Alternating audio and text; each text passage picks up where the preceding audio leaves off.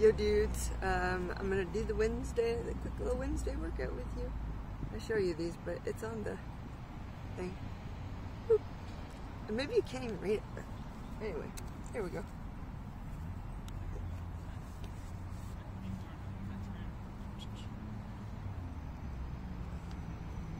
I, yes, I can't see me, I can't see me, but.